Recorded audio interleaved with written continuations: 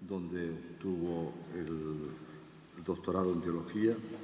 Es un perito en pastoral catequética por el Instituto Superior de Pastor de Madrid y ha dedicado mucha parte de su vida, primero a la docencia, siendo profesor de la Facultad de Teología de Salamanca, donde yo le tuve de profesor. ¿eh? No es que sea más mayor que yo, pero yo entré más tarde y le tuve de profesor y ciertamente entonces yo empecé a entender quién era don Antonio también, porque no solamente nos enseñaba cosas, sino está precisamente en la vida de don Antonio Cañizares permanentemente en todos sus trabajos, en todo su quehacer.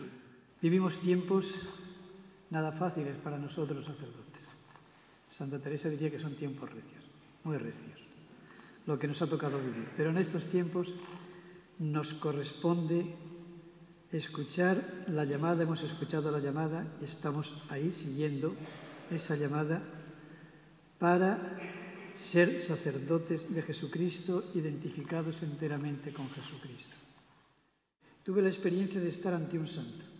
Me impresionó su homilía sobre el sacerdocio. Había oído que era un enamorado del sacerdocio, pero descubrí algo más. Todo él, todo él era un sacerdote. Era presente de Cristo sacerdote. Todo en él era sacerdotal. Todo en él reflejaba el gozo de ser sacerdote.